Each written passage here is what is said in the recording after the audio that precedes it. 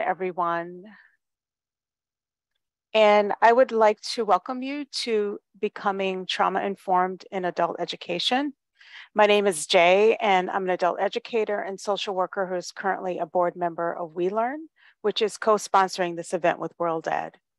And WeLearn has been around for about 20 years and has been committed since its beginning to promoting women's literacy as a tool for both empowerment and equity.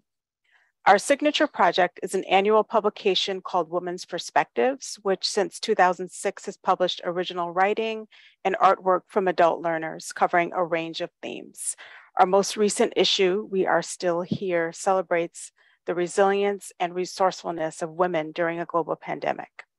By guiding and supporting students as well as teachers, Women's Perspectives has been a place where many adult learners have been able to publish their ideas and their creative works for the first time. More recently, with the support of our advisory committee, we've been able to facilitate some webinars on women and COVID-19 and critical race theory in adult education.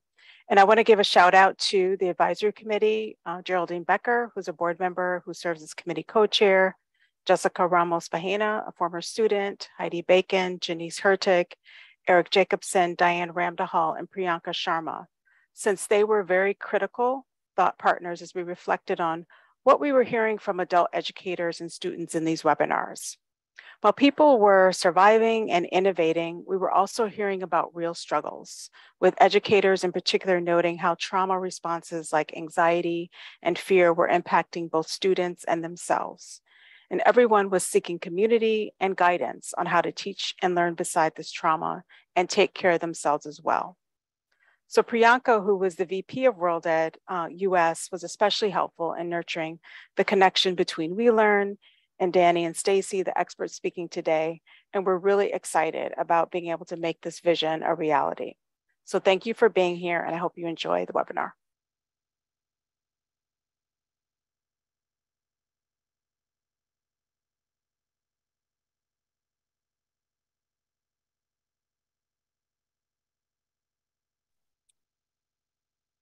Hey everyone, thanks for joining us. Uh, I'm just going to go over some basic Zoom control instructions for you. You can find the uh, control panel at the bottom of your screen. You might need to hover your mouse down there to make it pop up. And please be sure that when you use the chat, select everyone from the drop-down menu so that everyone can see your comment unless you're intending to speak to one person directly. If you have some sort of tech issue and I don't see your comment in the chat, please use the hand raise feature, which can also be found on the control panel, and that will get my attention. We ask everyone to stay muted for the time being, so please make sure that the uh, mute icon is selected with the uh, red cross going through it so that you are muted unless you are actively speaking. And if there are any other issues, please contact me at the email address you see in the fourth box. One other instruction is that uh, we have the annotation feature, which can be found on the control panel in the bottom of your screen.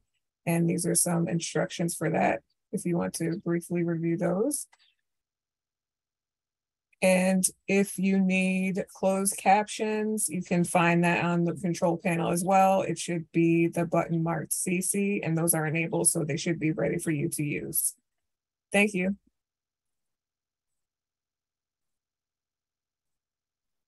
Hi, everyone. So um, I'm going to just um, briefly introduce our co-presenters. Uh, just a reminder, please introduce yourself in the chat so we can see um, who's here. Presenting today is Dani Scherer, who is a curriculum and professional development specialist at World Education and has worked in the field of adult education for over 13 years. We also have Stacy Seward, an experienced clinician with expertise in trauma's effect on the brain, who is also a certified mediator and DEI professional. And she and Dani have both collaborated in the past. And, um, you know, myself, as well as Ebony, who's helping with the tech. And I'd also just like to mention briefly um, the help of advisory committee members, Edith Ganadas and Heidi Bacon, who will be monitoring the chat today. Thank you.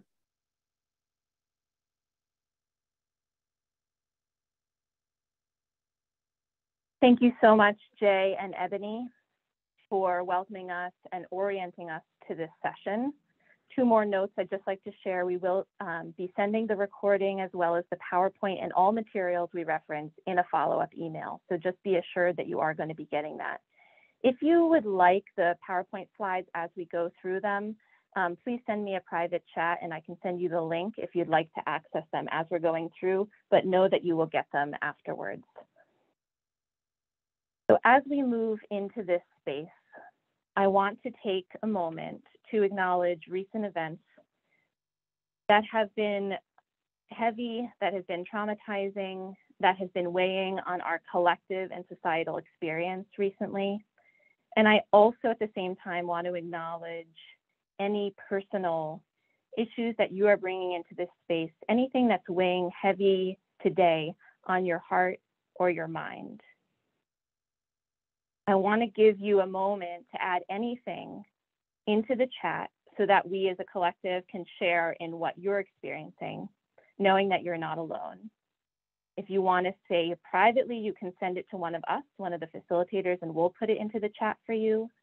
But for others, let's just take one minute to acknowledge and share any of these recent events, personal issues into the chat.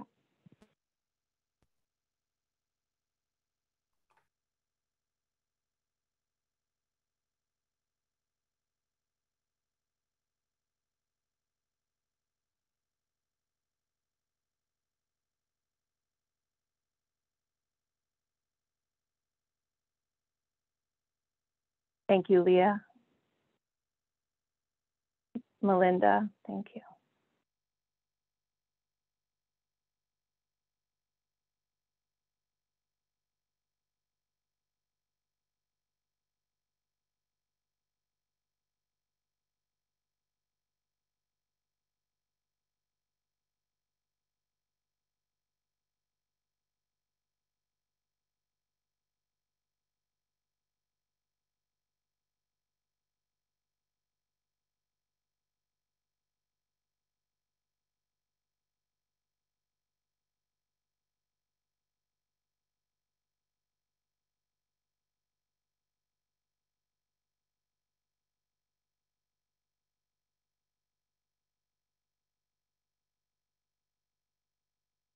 There is so much, Kirsten, absolutely. I want to thank each person for sharing. Please continue to add.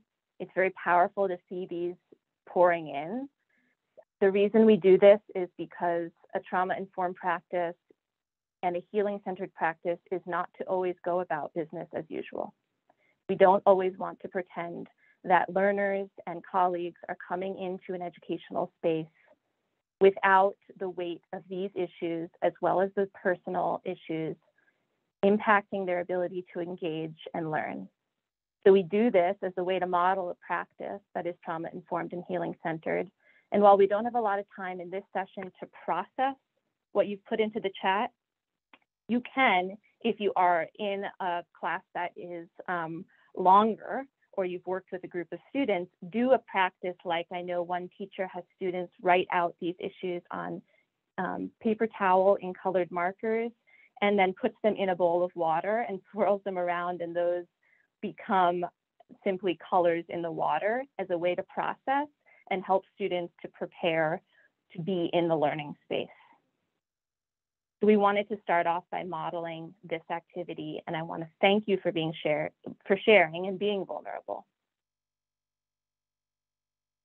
We're going to move on to the next slide, which is what we hope you walk away from this session with. So we have an hour and a half together. It's not a lot of time, and yet Stacy and I put our heads together to think about what is going to be most impactful for you in this time and what feels most salient and relevant. And so, what we do want to do is have you walk away being able to articulate the importance of having a trauma lens and a healing centered approach in adult education, and also give you some practices that feel useful right away for your work. We're not going to spend a lot of time talking about some of the more um, physiological um, medical diagnoses of what happens in the brain um, and what happens and how that impacts learning. We recognize that some of you have a background or you know a little bit about this. What we have done instead is put together a curated resource list that you can explore in a self-directed way to deepen your understanding of that. Instead, we want to really move into the practices that are going to create a healing centered space. I want to say that regardless of your role in adult education, whether you are a student, a teacher, a director, data entry, administrator, curriculum developer, advisor, you are going to be able to fully participate in the session and get something from it. If you are um, like me and have taught in adult education, you might have had the experience that I have, which is training in how to teach and what to teach, but not necessarily some of these factors societal factors, trauma, identity that impacts our learners and their ability to learn and engage. But I did not learn about this in any of my trainings, and therefore we want to thank We Learn for offering this training um, for all of you today. So we'll move into our agenda on the next slide. We've already started the session, but I do just want to give you a little heads up about what's coming. So we're going to do some norms as another trauma-informed practice to model. We're going to do a grounding exercise. And as a result of that, we're going to hear about what you are already doing in your work, wherever you work, that is trauma-informed. Stacy's then going to guide us through um, a baseline understanding of trauma and also talk about the shift from trauma informed to healing centered. And then she's going to give us some practices that we can use right away. Now, we do have one breakout room in this session, and we um, sent an email because we wanted you to feel prepared and warned about that. Um, and that occurs um, towards the end of the session. And if possible, we would like you to have your camera and audio on. If not, please know that you can turn your camera off at any point um, throughout this session, um, especially if you're concerned about bandwidth.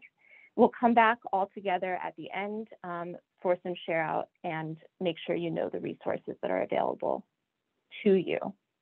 Um, the most important thing about this slide I wanted to share is that we are modeling trauma-informed practices as we go. So these aren't just for your use with students, these are for you right now, today, too, to benefit from and to receive the care of these practices. So we'll actually move into our, um, our second modeling, which is on the next slide, and that is our norms, our session norms. So what you see in front of you is some session norms that we pulled from other places. And what we would like you to do now is tell us which ones resonate with you. And the way you're going to do this is the annotation tools that Ebony described. So if you go to the top of your screen, um, you can click on view options. It says you are viewing Ebony's screen. Go to view options. And then on the little drop down, you'll see annotate. If you click on annotate, a little toolbar will, will open up and you're only going to use the stamps here. So some people are already very familiar with this tool, so you totally get it. You're going to use the stamps and you can use a heart, a star, or a check mark to say which ones of these norms you want us to engage in in this session that feel important to you. If you have a question about one of them, you can put a question mark and if there's norms that you would like to practice here, but you don't see, please put those in the chat and we'll include those as well. This is cool.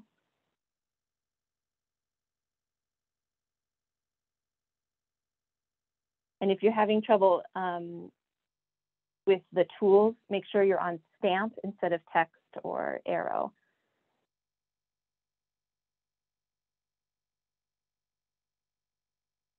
Now, as a reminder, when you're done annotating, you're going to want to click that little red X, that little um, circle X, and that will make sure your cursor goes back to a normal cursor and is no longer continuing to put hearts everywhere all over your screen.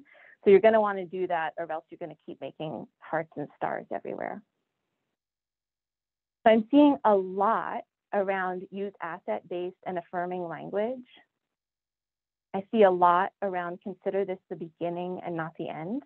That's really imp important for our work. I see a lot around taking care of yourself, being curious, challenging ideas and not people.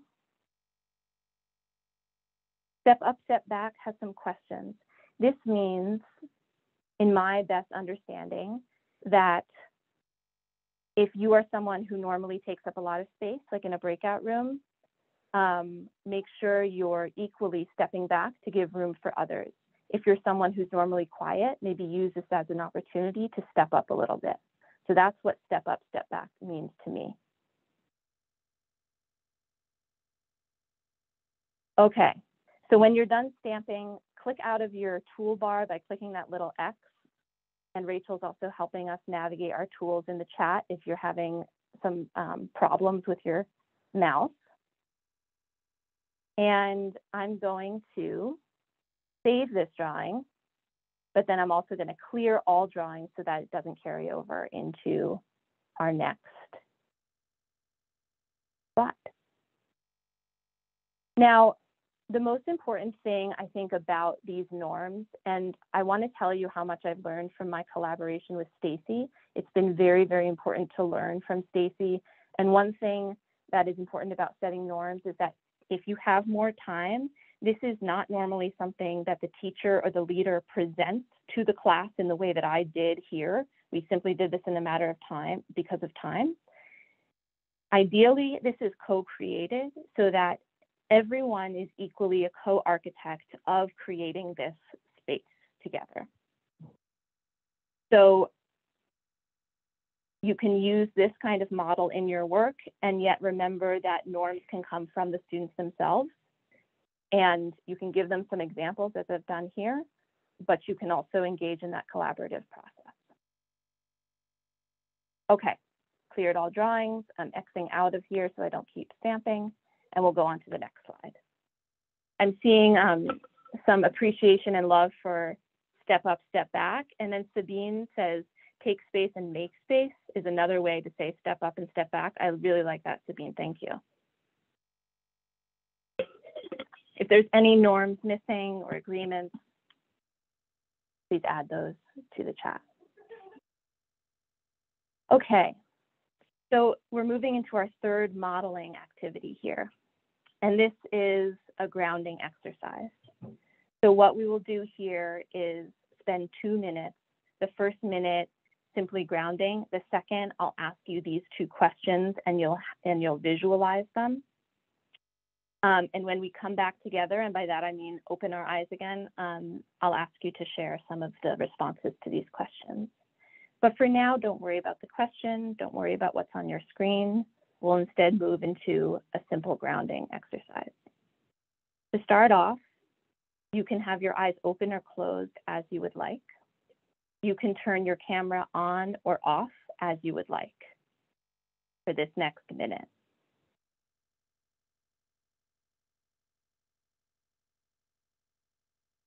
So take a minute just to feel yourself in your seat. If your legs are uncrossed, maybe you want to, if your legs are crossed, maybe you want to uncross them, to feel alignment in your spine and to feel your bones kind of settling around that alignment. Once you feel your spine in alignment, just feel your flesh and your muscles settling around your bones. Notice if you have any areas of tension in your body and just notice it. Maybe send some relaxation into that part of your body.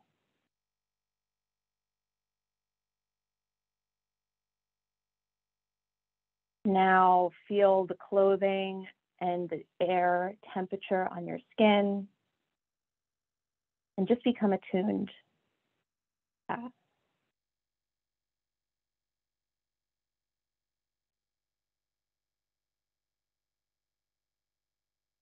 now that you're grounded, I'm going to ask this question and I want you to just visualize the answer. What do you do to make other people, this could be students, this could be colleagues or family members, feel care and belonging? What are some things you do to make other people feel care and belonging? You can think about a classroom space or a workspace or a home.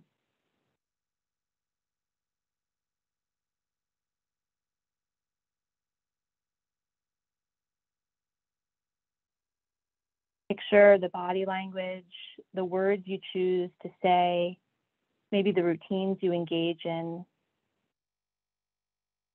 things you point out.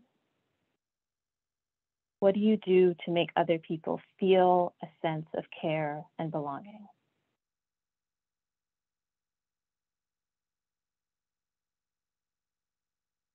So jot down a few mental notes as you visualize that. And then once you have some of those mental notes, come back into the Zoom space Maybe that means opening your eyes again. Maybe that means turning your video back on. And now navigate over to the chat. And I want you to open the link that I just put into chat, which is a Menti link, Mentimeter link. And it's going to ask you to write three words or phrases that come to you in response to that question that I asked. What do you do to make other people feel a sense of care and belonging. Maybe to feel safety, but we want to make the point.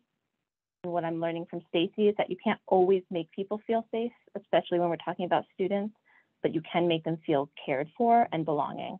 So open that Menti link and it can it gives you the option to enter three words or phrases and keep these short. Um, so just one word is best. And you can do a, a short phrase with two words if you would like. And I'm starting to see our word cloud generate here. So you might not be able to see it yet. You'll see it in a second when we share it. So just keep entering your responses.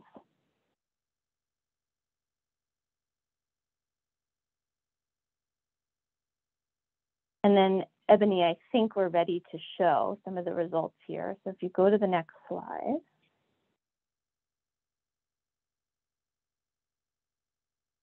and click on the review word cloud, I think we'll see some things that came up here.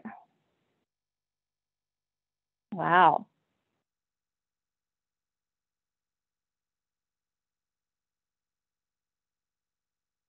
All right, I think that's the biggest we'll get. It's a little bit small, we can deal. Is there any way to make that bigger, I'm wondering? I just tried and I'm not able to, so unfortunately, Okay. no. Okay. All right. Um, what I'll remind people is that you can kind of move your screen to um, video participants um, spacebar over to make your own screen bigger. So I'd encourage you to do that. Um, and then you can see these maybe a little bit better. And it looks like Ebony's working on sharing them. There we go, 100%.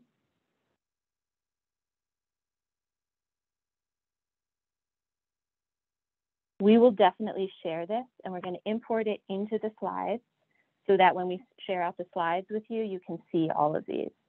Now I want to just reflect and I want to ask Stacy, do you have any reflections for what you see here from what people said they do to make other people feel a sense of care and belonging? Any reflections on what we see?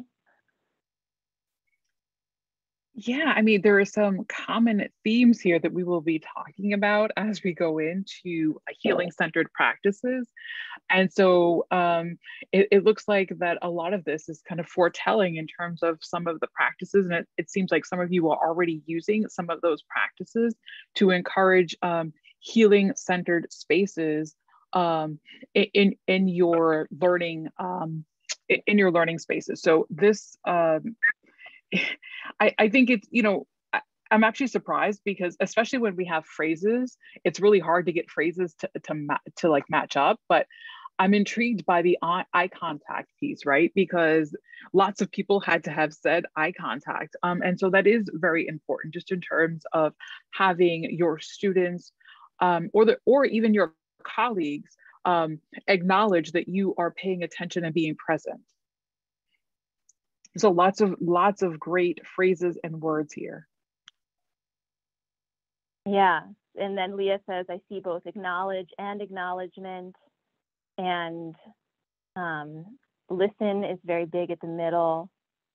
Um, make food, I like that. Active listening, love, take time, listen with empathy, attention. Thank you so much. We will um, save this and I think we'll go back to our PowerPoint. I also want to acknowledge what's in the chat for sure um, for folks who um, have differing learning needs and um, different abilities that for sure we wouldn't want to have that be a focus. I was just pointing out that lots of people had put that up there. And I think you're right, culturally, not every culture acknowledges that as a way of paying attention. But I just found it telling that many folks um, lifted that up. But thank you thank for those you. in the thank chat so who are who are already kind of getting into what some of what we'll get into in terms of limitations of some of our kind of dominant culture dominant culture thinking. So thank you for that. Thank you. Great conversation in the chat. So we'll go on to the next slide. And these are a few foundational core understandings and assumptions that we would like to share with you in this session. And um, the first one at the top is number one for a reason, and that is that we're not just talking about our students when we talk about the need for trauma informed and healing centered work in adult education. This impacts each and every single one of us, and we're all in need of the same kind of support. Number two, for understanding here is that social identity and our lived experience impacts our exposure to trauma.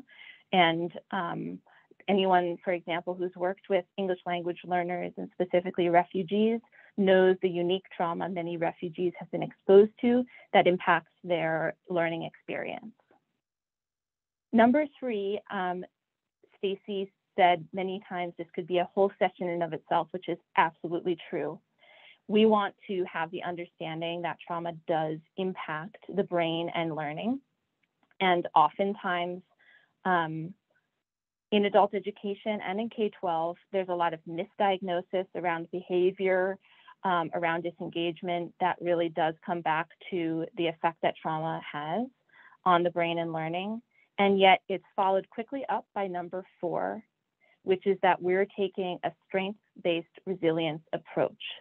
So what that means is that the practices we are talking about today are all aimed to bring the mind and the body back on board for optimal health and learning um, by focusing on students' strengths, on our colleagues' strengths. Number five is that healing spaces are participatory and co-created. So that means, like we did with the norms, well, like we didn't do with the norms, those are really ideally um, based around ideas of collaboration, um, also this idea of student leadership, so that the norms and the practices are co-created by students, teachers, administrators, staff. Number six, you can't command a healing space. Um, that means you can't say this is now a healing space and this is now a safe space. That's not up to us to be able to do. Um, I want to credit Stacy again with teaching me about this and the importance of that.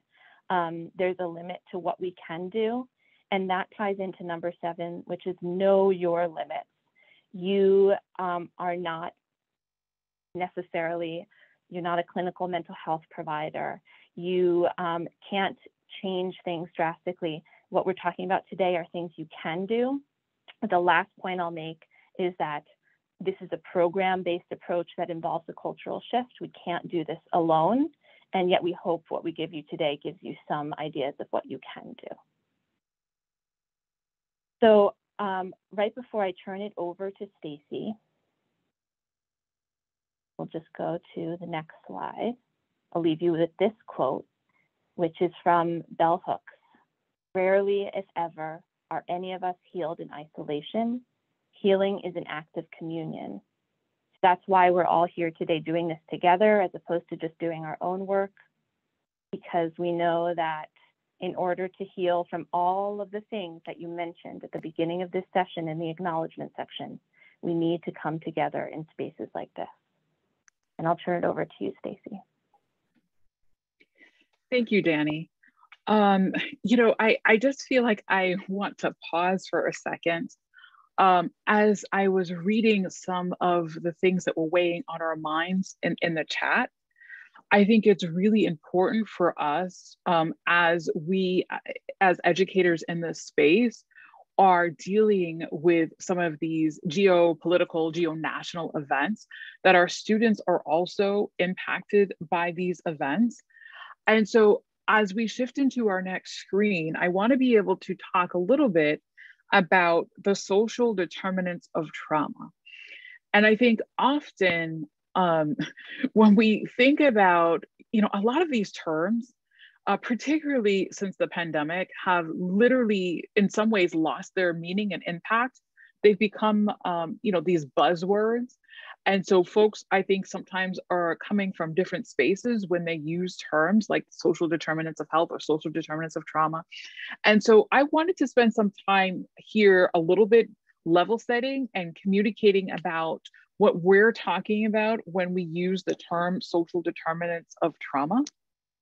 And so it's really important for us to know that social inequities are multidimensional um, we can't put social inequities in a box and say it's this thing or this thing, right?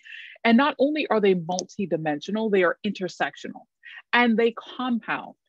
And so when we are using or lifting up the term social determinants of trauma, we're talking about um, economic inequity, right? And so challenges with obtaining economic equity, which is wealth, income, property.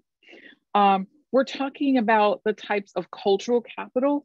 And I think in the chat, um, Michelle Walter and Lee um, did a great job talking about how dominant culture norms sometimes can take over a space, right? And so when we're talking about things like eye contact, for some folks, that can be, yes, that makes sense that we're acknowledging um, folks in the room.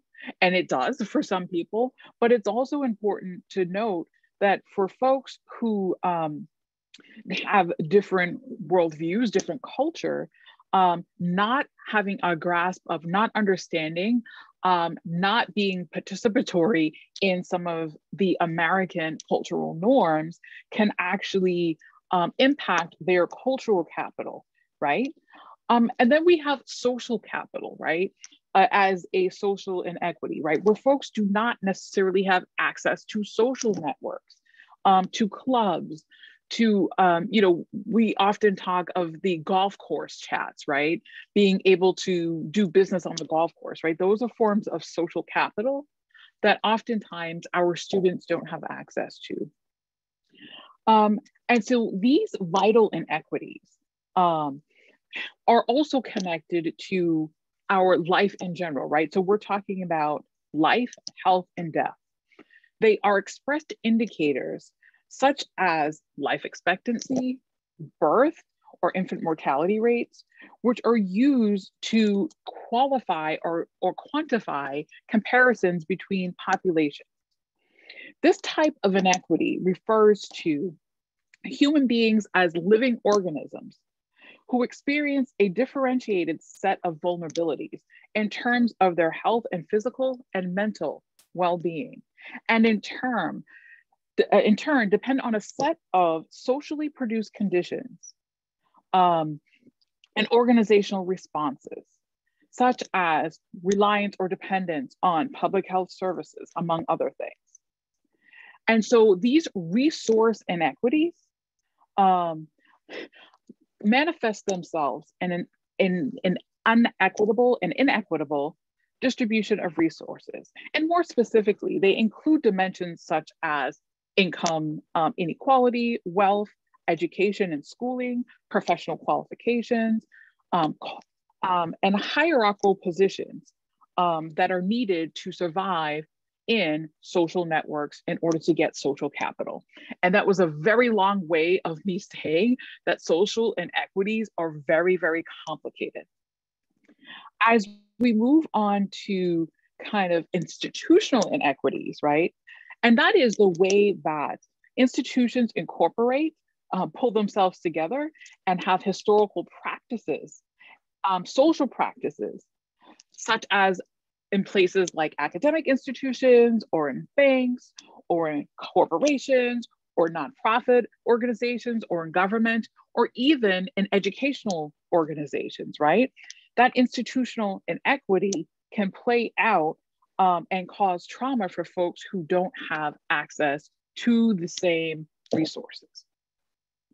And then finally, we have some of these living conditions um, and traumas that are caused, right, by things like living in food deserts, um, environmental hazards such as lack of clean water, indoor air quality, outdoor air quality, um, chronic exposure to community um, internal or external violence, uh, the impact of over policing, um, and lead and noise pollution, right? Those would all be indicative of the social determinants of trauma associated with living conditional.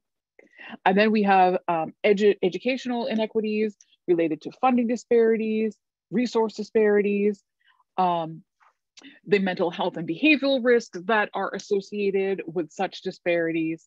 And, and finally, you know, what we have are is probably the most uh, pressing um, issue, which is the impact of all of these social determinants of trauma um, on our students who don't have any of these, right? Or who have compound traumas, right? Who are experiencing social and institutional inequity, who do have challenges with their living conditions, who do experience educational inequities, um, and who are um, vulnerable to mental and behavioral health and physical health risks as a result of social policy.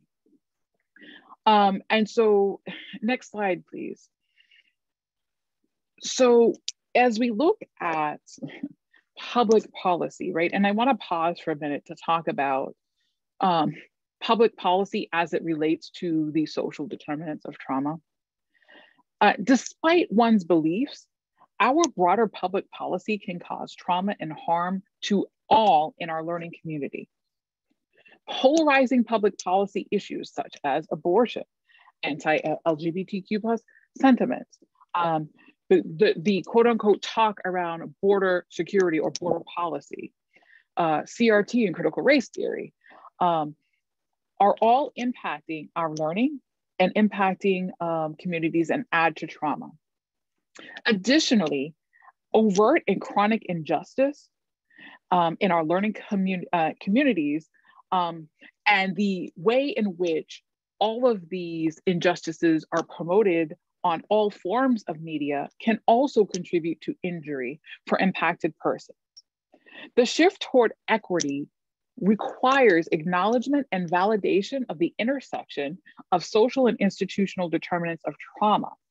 And so integrating awareness of these social determinants into the curriculum is key to moving the needle forward on student healing and engagement.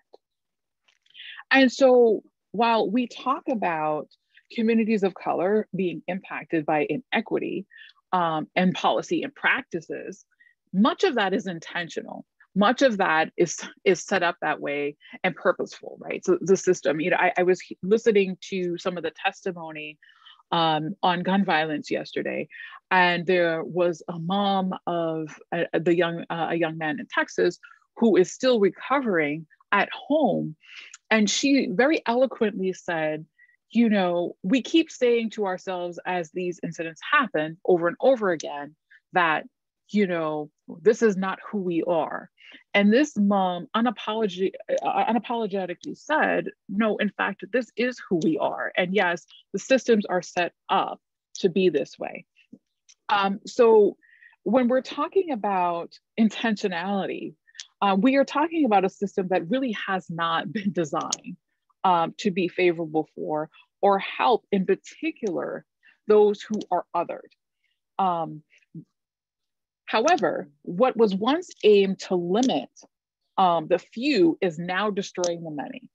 And so as witnessed by, you know, the ongoing opioid crisis, that has decimated both rural and urban communities, um, discriminatory and inequitable access to supports um, are now shared by many Americans, right?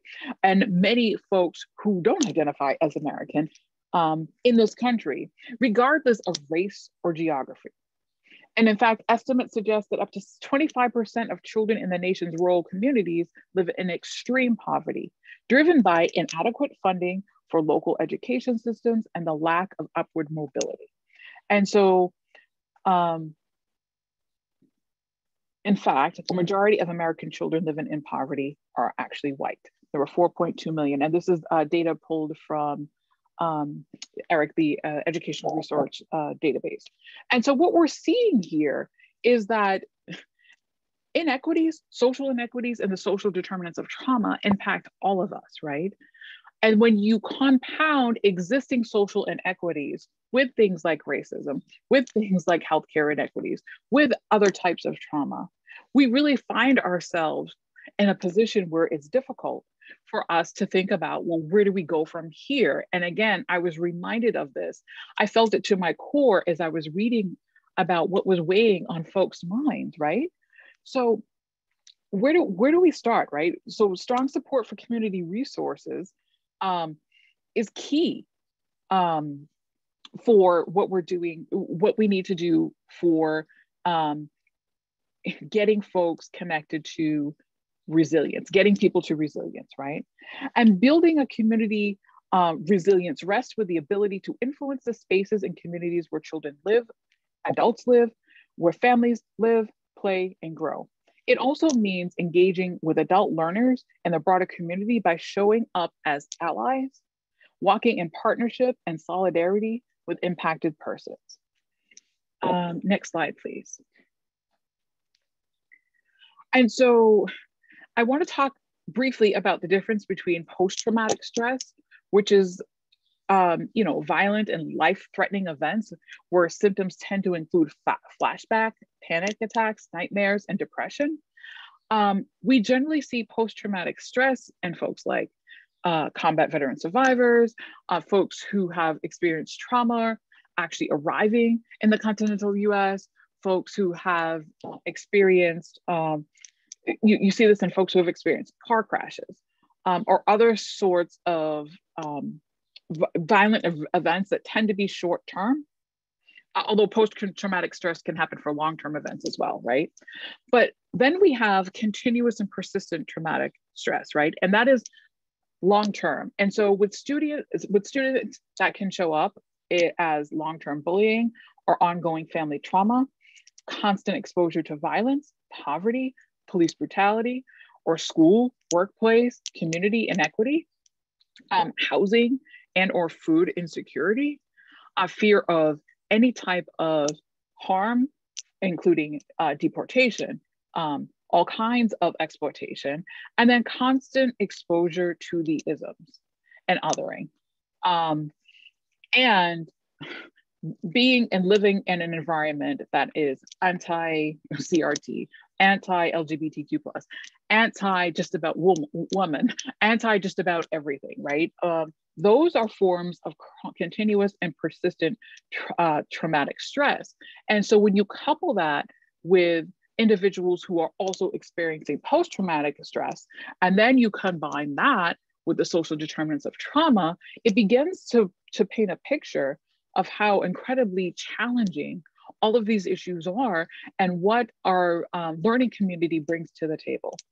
Uh, next slide, please. I want to talk briefly about some of the symptoms of post-traumatic stress, and this is by no means a comprehensive list, um, but it includes things like high anxiety, panic, exaggerated reflexes and resources and, and um, reactions. Um, it can often include overreactions, right? So you, you can see this um, over exaggerated response to something that is seemingly um, a disruption, but a minor disruption. Um, it, restlessness, um, just the need for folks in the learning community to always be going, feeling like that um, they're not getting things done, um, maybe even creating some sort of drama to be able to be focused on what is next. Um, this manifests in, in, in seeing um, physical symptoms such as digestive problems, um, stomach pain, head pain. So, so folks in the learning community who are, you know, continuously talking about having all types of what we call psychosomatic pain um, can be indicative of traumatic stress, uh, stress uh, sleeplessness, trouble sleeping, um, rage, uh, particularly rage that seems disproportionate to the actual um, event that triggered the rage, um, depression, exhaustion, folks, uh, you know, falling asleep often, uh, disconnection, just feeling uh, a sense of like isolation, uh, difficulty or inability to express emotions, and not only a difficulty to express emotions, but the inability to uh, express them um, in a manner that seems uh, productive. Um, and then high rates of absenteeism or tardiness is what we might see in our learning community. Next slide, please. Um, and then how it can manifest in a, an adult education classroom is shifts between hyperarousal and hypoarousal. And, and what that really means, and we talked about this on the previous slide, is that you know there could be a particular event or a topic that comes up in the, in, in the learning space where a student um, is overreacting um, to that particular uh, topic, or maybe even seemingly underreacting. And of course, this is all relative um, it can manifest in, in terms of, you know, a lack of focus where there previously appeared to be focus, um, outbursts, crying, laughing, uh, laughing in anger, um, emotionalness or, or over emotional, um, volatility from day to day or sometimes moment to moment, um, and vacillate like vacillation in between um, you know, one day somebody comes in really, really excited and personable, the next day very depressed, and the next day comes in very high energy again. Um, memory challenges where students, you know, particularly if you know folks in the learning community well, and all of a sudden a student is having difficulty retaining information where before they weren't. Um, and, and there are similar uh, comparisons to some of those recall challenges where for whatever reason, um, folks in the learning community are having difficulty retaining um, information. And then there were other examples that we can think of that I'm hoping that in your breakout groups, you'll, you'll have an opportunity to talk about. Um, and I, am trying to check out um, some of what's happening um, in, in the chat just around, uh, somebody said somebody abruptly leaving the room without saying anything um, that can certainly be um, a manifestation. Um, that could be that person's way of exhibiting emotional regulation to remove themselves, um, knowing that they might um, actually act out, or it could just be that they are on information overload and don't know how to handle the in information um, that's being challenging, challenged. And somebody said leaving a Zoom class for no reason. avoid avoidance and withdrawal absolutely those are all examples of how uh, trauma can manifest in the adult education classroom. Uh, next slide, please. So I want to pause for a minute. I'm actually trying to keep up with the chat here to see if there were any um, questions um, that folks have um, about all of those uh, kind of manifestations and what we saw. Um, Stacy, so, Stacy, yeah. there was one other comment on chat.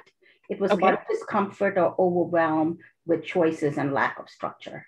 Yes. Um, and we're going to talk about how important structure is in terms of creating a healing centered space. But yes, um, seemingly choices that should um, be relatively, I, I guess, in our own kind of personal judgment, you know, binary binary choices can be very overwhelming for folks and kind of not only overwhelming but kind of keep them um, we call this initiation, like keep them from initiating so that they are not moving forward with the rest of the tasks that are at hand. So for sure, um, we see that the, the, the discomfort um, around choices.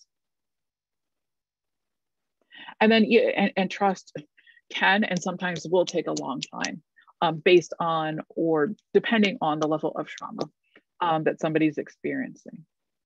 Yeah, Yep. it's again the physical illnesses and in response to trauma. Absolutely. Absolutely. Okay uh, next slide please.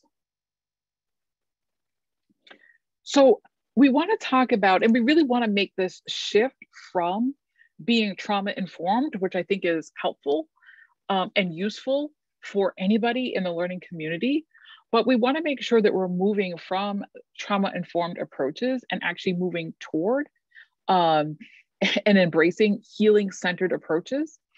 Um, and so here are some, I, I'm going to, you know, read very quickly some of the differences, right, between a trauma informed approach and a healing centered approach. Um, and so oftentimes in trauma informed um, spaces, we're accustomed to, to really asking and inquiring about what happened to the individual instead of saying, you know, where, what are those individuals assets, right? What what's going um, right? What is going well with that individual, and how do we leverage that individual's strengths? Um, in trauma-informed work, it focuses on the harm and injury to the individual, which I, I think is important in terms of understanding. Um, but however, in, in shifting into a healing-centered um, practice, we want to focus on the ongoing and holistic healing of individuals um, we want to build those interpersonal relationships. Um, as Lee said, we want to talk about building trust. Um, and we want to be able to address um, some of the challenges within um, relationships and institutions. Um, and we want to challenge those institutions to also become healing centered and healing focused.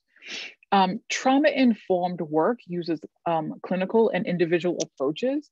And it's, you know, why Dani said earlier, it's really important that we are not um, changing um, learning centered spaces into clinical mental health uh, spaces, rather understanding where our limits are and really not trying to treat folks, but consider this, the environment um, in the context of trauma. So we're acknowledging what the environment looks like in that in that contextually as it relates to trauma, but we're not necessarily trying to treat the trauma. Um, and trauma informed work focuses on treating clients rather than supporting um, folks in building um, and strengthening their own healing um, being the architects of their own healing and well-being, right? So we're there as a support rather uh, rather than a practitioner um, in this healing-centered space.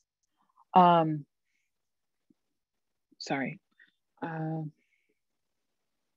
there is a lot of sorry i'm, reading sarah's uh, there is a lot of connection to the um, asset-based and strength-based approach um, i think there are some steps that are required to make sure that in addition to the approach, the environment is suitably um, arranged so that students can optimally feel like that it's a healing centered space. But yes, there are definitely connections there. Um, okay, uh, next slide, please. So I want to talk about the, the four pillars um, of how we um, to Sarah's point, use these asset based strategies to create a healing centered space, right? And so, I, the, one of the first steps in doing that um, is realizing and having a basic understanding of not only trauma, but healing. Um, we understand how it affects families and groups and, and the learning community. But do we talk about in our healing spaces um, the coping strategies, right? Um, and how are we addressing um, those coping strategies in our learning spaces? Um, how are we allowing students the space to heal um, through their learning experience? Um, how are we recognizing um, the signs of trauma and how are we facilitating that space that advocates and promotes healing? Um, and so they are specific based on, you know, their age. Um, are how are we partnering with um, other folks in the learning community um, to make sure that if we're in need of a uh, assessment or assistance, that we are um, accessing those resources. Um, how are we responding? Um, how are we responding to um, how our students are lifting up their needs? Um, are we making sure that our entire learning community um, is educated about the needs of our students?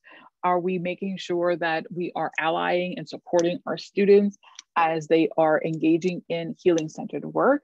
Are we understanding about the ebbs and flows that may happen um, in our work? And are we being, um, I'm sorry, can everybody hear me? I'm sorry, I, I went out for a second. Can people still hear me? Yes. Yes. Yeah. Okay, sorry. Um, and, and how are we um, responding um, as students continue to lift up both challenges um, and successes, right? And so we will see ups and downs in this process. Um, and then finally, I, I think this is probably the most important point, how are we resisting re-traumatizing of our students, right? Um, and oftentimes this comes in the form of um, not necessarily recognizing how some of the trauma manifests in um, our spaces, uh, but it also means uh, that we are not necessarily appropriately intervening when we see microaggressions or macroaggressions take place in front of us. And so the way to kind of resist some of that re-traumatization is to be front and center um, when we experience um, any type of harm that is happening within our reach. Uh, next slide, please. And so here's some really simple things we can do um, to put things in place um, initially. Um, you know, co-create the healing space. And I, I want to talk about that. I, you know, Dani said earlier that healing spaces cannot be commanded. And I think oftentimes um, with our energy, we say, okay, you know what, we're going to go ahead and create a healing centered space. Well, we cannot do that. We don't have the power to do that. Um, we need to acknowledge that healing is something that has to happen internally um, with those that we work with in our learning community. So it's really important to actually ask and gain consent um, from those in our learning community uh, to be the architects of a healing space and ask what the needs are. And that will differ vastly from space to space.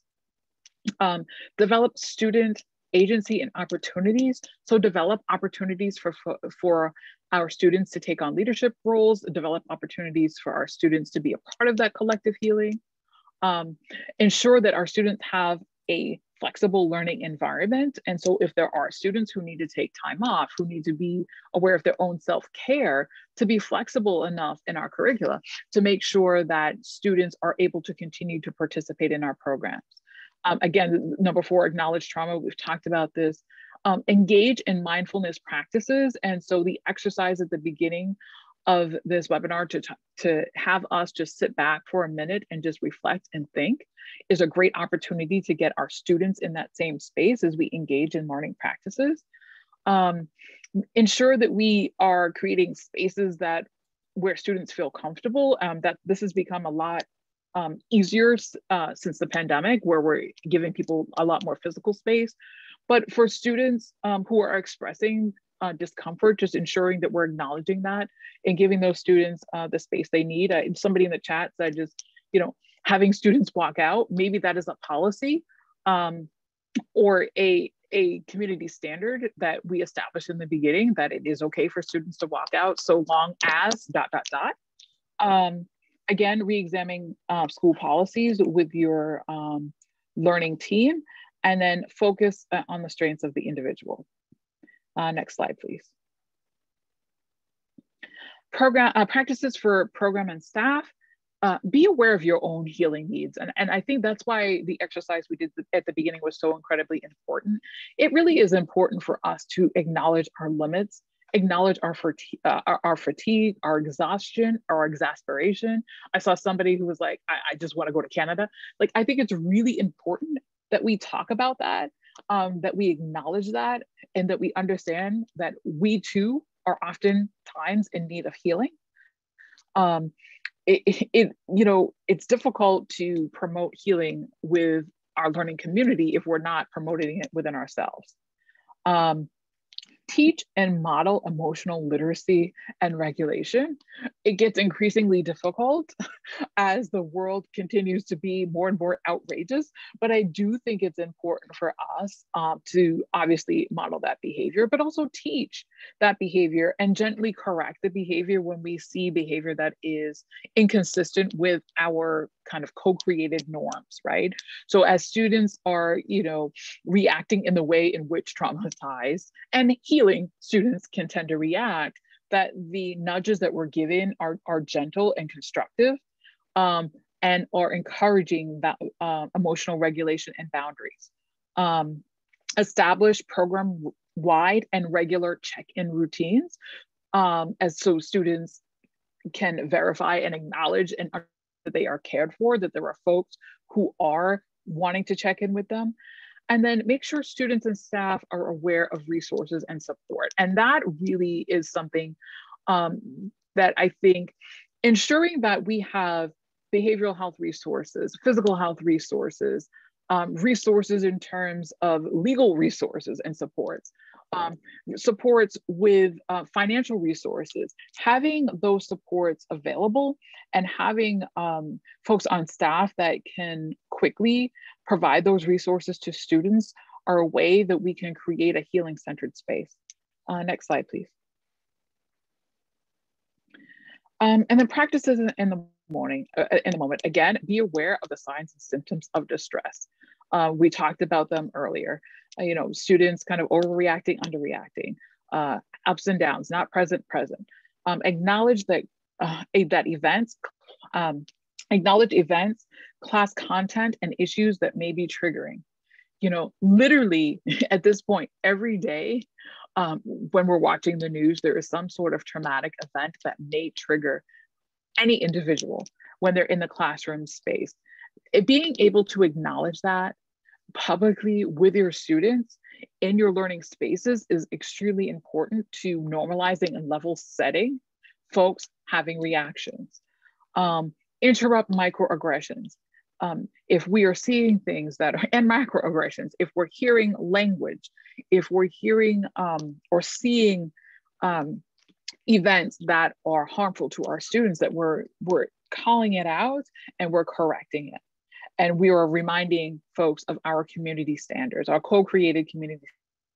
Um, provide choice and again, and flexibility, and then reframe behavior. So if we are seeing those trauma responses, um, talking about the response and re reframing it as something that needs to be um, a healing centered response. Uh, next slide, please.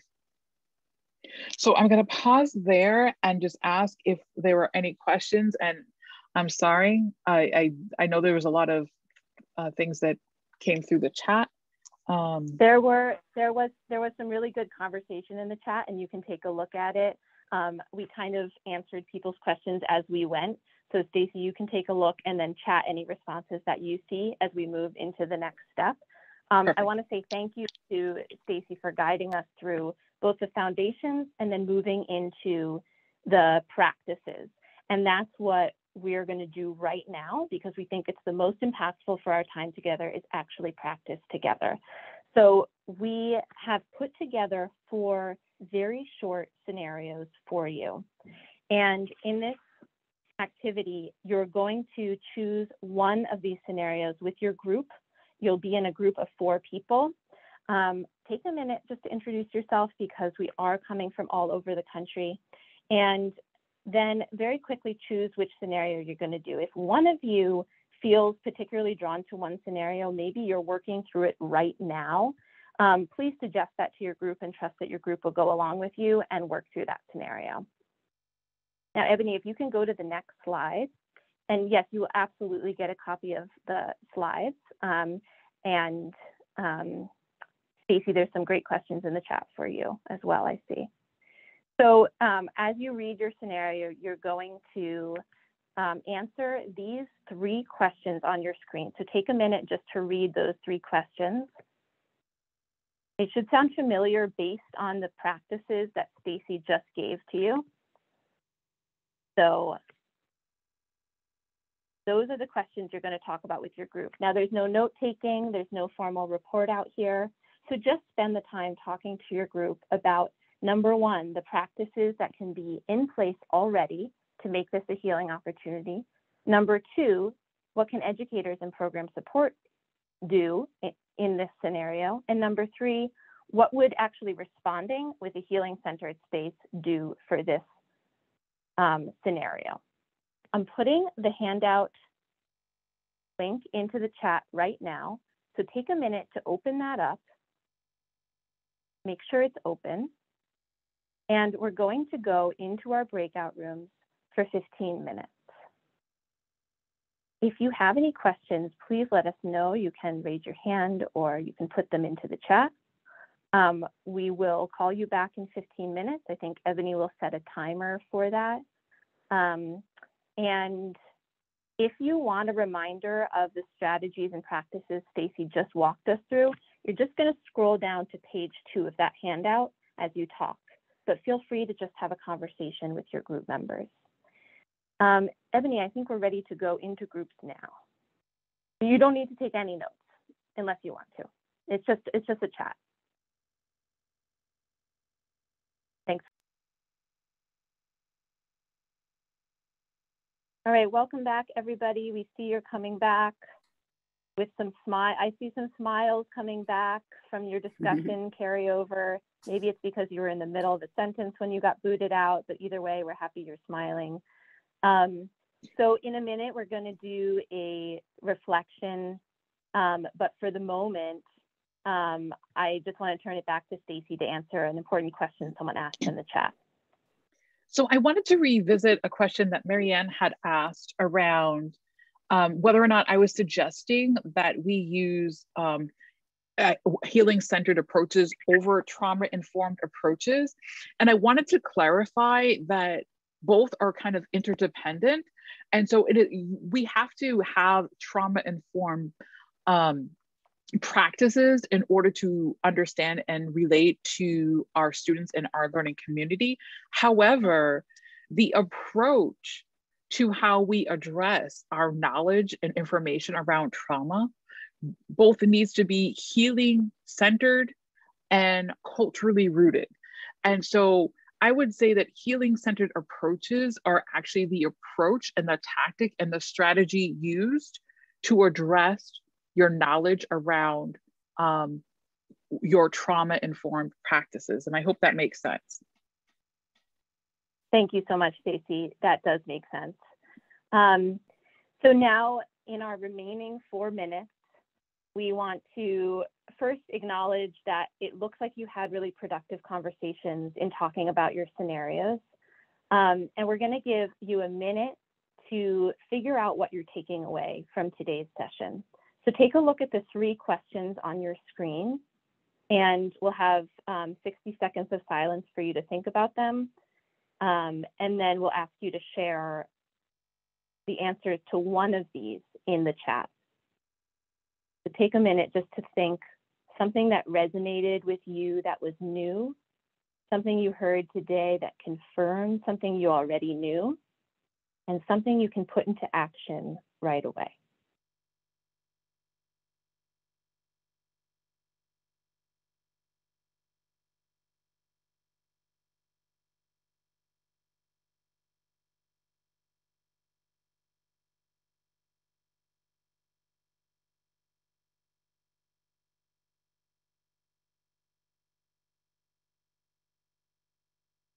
you can jot something down if you want, but we're just taking a moment to give you time to answer this.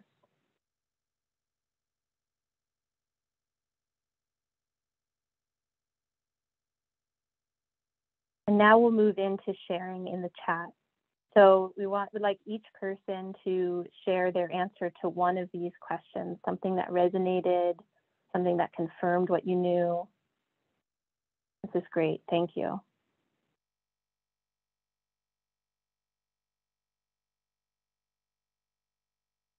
So thanks, Zoe says, give students a sense of control. Emma, the importance of building safe spaces for our students and addressing their concerns. For Kate, the shift from trauma-informed to healing-centered was new, new or important. For Lauren, healing spaces can't be commanded and should be co-created. I'm glad that resonated, Lauren. Um, Melanie, I like you like the countdown. Um, Lisa, I forget to take care of myself too. PTSD and complex or continuous PTSD and listen more. Beautiful. Lorraine, I'm glad that resonated with you that you can't command the healing space. These are amazing. I'm sharing this chat. We're going to share these takeaways with you. Um, I have three slides underneath here that are, it's all room to share your takeaways. So I'm going to share the chat and import it into the slides and then send that out to you so that you can see what everybody is sharing here. Stacy, anything you're seeing that you want to comment on here? Well, so I'm looking at Geraldine, um, acknowledging that healing can take a long time. Um, and self-care is really, really important. Um, I, again, somebody lifting up that you cannot command a safe space. I think that's also important. Uh, absolutely ensuring that folks are co-architects of the design of the healing space is really important. Um, so thank you, Arena. Um, again, Sarah, making sure that instructor and staff well-being is also centered is really important, an important piece of this. Um, yeah, um, somebody like Elizabeth, I'm glad you like the icebreaker, that's great. Um, yes, uh, Deborah, so below you will have uh, resources to um, kind of dive deeper. Um, Speaking of that, yes. Um, actually, Ebony just moved us to this slide, which I'm going to share a link for everyone in the chat. This is the resource list that we talked about. Ebony just shared it. Um, and that is where we've curated this list kind of specifically for adult ed. It, it does talk about, um, there's a few sections here, the shift from trauma informed to healing centered. If you want additional resources, those are from Stacy. Um, practitioner self-care and secondary trauma, there's two great resources there. Specific to adult education and the workforce, um, there's five resources there. And then what, what, you'll see below at the bottom section is practical tips. Um, so we've compiled this for you. Um, Lisa, great question and also a perfect segue into our last slide with Jay. Um, Ebony, if you want to go to the last slide, the thank you slide, and I'll turn it over to Jay to close us out. Thank you so much, everyone, um, for coming. I mean, I think it's been amazing to see the chat and see the connections that people have made. So I hope that you've learned something and also felt really engaged. This is our contact information. If you want to follow up, if you're interested in WeLearn, please reach out to me at welearnwomen at gmail.com. We're looking, always looking for people to support our work. And you can also reach out to Dani, uh, Stacy, and Ebony if you have any other additional questions. We also will be um, having a short survey after you log out. So if you could complete that just to let us know what was useful to you and also to share any additional um, webinar ideas you have, um, that'd be wonderful too. So thank you so much for coming.